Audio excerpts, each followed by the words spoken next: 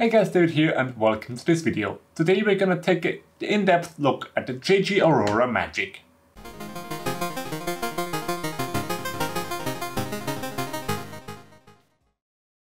So first of all, I want to thank Banggood for sending over this printer. You can check it out at the link below, but all the opinions in this video of course will be all my own and totally objective. So when this printer arrives at your home, it is flat packed in a box, which means you do have to do some assembly, but it is quite straightforward. Depending on how much experience you have, it's going to take between like half an hour or at most two hours. There is a printed colored uh, sheet of instructions included in English and Chinese. And on the SD card, there are also a lot of other languages like German and so on. The translations are sometimes a bit rough, uh, but if you don't know any English or whatever, there still are instructions for you there. I don't know why you would be watching this video though if you no, don't know any English. That would make, not make sense. The build quality then is really nice with this really solid metal base. Uh, that's very nice to see. That this, I first thought it might be plastic, but it is not plastic, it is metal. So, so that goes the entire length of the printer and it encloses all the electronics inside. So uh, in contrast to most other uh, cheap 3D printers, there are no exposed power supplies or anything like that. So that is really nice to see and great for beginners as well, so you don't have to worry about any of that. Instead of the regular V-slot extrusion for the y-axis, we actually have some 8mm steel rods here with bearings uh, where the y-axis goes on. And since they're nicely spaced apart, uh, that actually gives the whole base a lot of rigidity, uh, which is, in my opinion, a lot superior to quite a few other cheap printers. The x-axis and the z-axis is then basically the same with just the standard uh, aluminium extrusion and uh, lead screw in the back. That is not a bad thing though, uh, this is a proven system that works quite well and the extruder and hot end is also basically the same as we see in so many other printers. It's Bowden style with a single gear that drives the filament in. The hot end looks to be compatible with the now very popular uh, hot ends that you get with Creality printers. So you will also find a lot of compatible hot ends available from third parties if you want to change your hot end for whatever reason. Another thing that I really like about this printer as well is that they have kind of engineered a little bit more than most uh, manufacturers. For example, there's this little PCB up here that just unifies the X homing switch the heating and the fan and all that unifies it into one single connector where you only have to plug in one cable for all the things at a hot end. We see that all around these little PCBs that just make the electronics installation even easier. So in total you have to maybe plug in five connectors and that's all. And while we're taking a look around the printer, there is also a filament runout sensor here, which is very appreciated, especially at this price level. Uh, that's it's such a simple thing to add. You just need an extra switch, uh, but it can really save you. And I found that if I have a filament runout sensor, I'm much more likely to use a spool, which I think will have enough, but I'm maybe not quite sure. On a different printer, I wouldn't use it if I print overnight, since I really don't want to run out of uh, filament like in the last few layers. But with a sensor like that, it just stops the print, waits for you to insert new filament, and you're golden. There's also a really nice feature on the electronics side, uh, which aside from just power recover, which we can see on many printers nowadays, where if you have power outage, uh, it can recover. It can also recover if you take out the SD card accidentally. And you can just put it back in and resume the print. Works perfectly fine. And printing is what you're gonna do on this beautiful bed here. It's very similar to others. Uh, it has like a very substantial aluminum plate here with removable kind of BuildTak-like uh, surface. This is pretty much exactly the same as on the Ender 3 and many other printers, which is a good thing though. It is very, very powerful.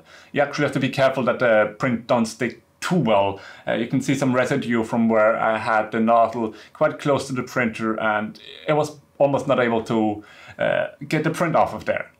But if you're ever in a pinch, you can just remove the platform with the four clips, bend it, and any print will come off quite easily. Not everything is rainbows and unicorns though with this printer. One area where I have not really done a lot of uh, improvements is noise. This printer is quite loud.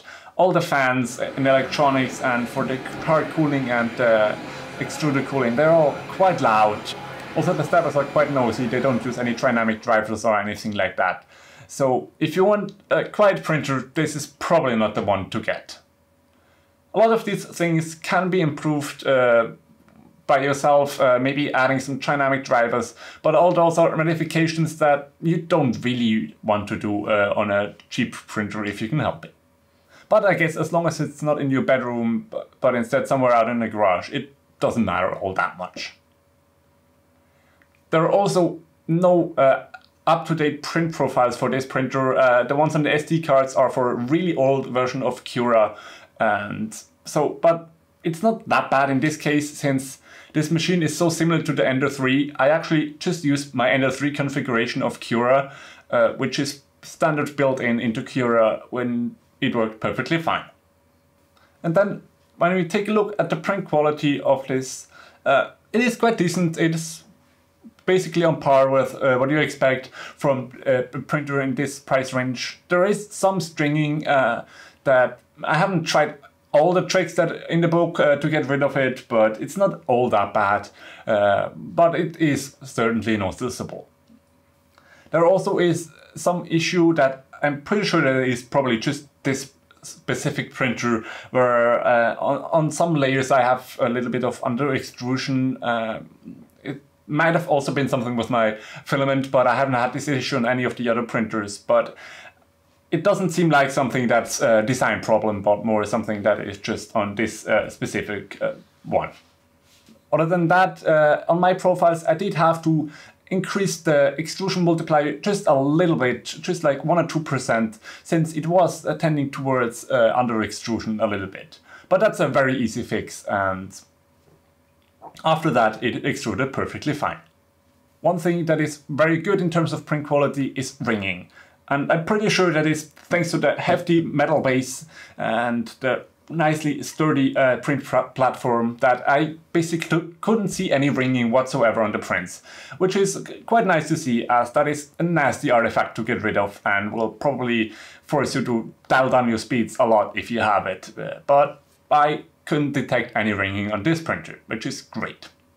One little annoying thing uh, while printing, especially in the beginning, was that the included SD card had some kind of weird issue where when I tried to print from the SD card, no matter if I sliced it myself or if I used a pre-sliced G-code from it, it just would start it, start heat up everything, and then basically crash the controller and restart. But as soon as I used a different SD card, it worked perfectly fine. I don't know what the issue is there, but SD cards are so cheap that I didn't worry about it too much. So all in all, it is, is a really nice 3D printer. At around 200 bucks, it is the same or a little bit more than the Ender 3, depending on which one of the two uh, is on sale more. But I think for the extra features you get, you get the filament runout sensor and you get the more sturdy base with all the electronics nicely enclosed. Uh, that, in my opinion, is worth it over the Ender 3. But one thing that it still has, that the Ender 3 has, is this just crappy Marlin controller. I know many people love Marlin, but I had the chance to work with a touchscreen, uh, cheap touchscreen printer, and that's going to be a review that's coming up probably next week. And it just is so much nicer to work with a touchscreen than with the clicky wheel. Just to move around the different axes uh, instead of by hand uh, through the controller. You have to select the axis, then you have to go into that submenu. Then you have to select how far, then you have to click into that submenu.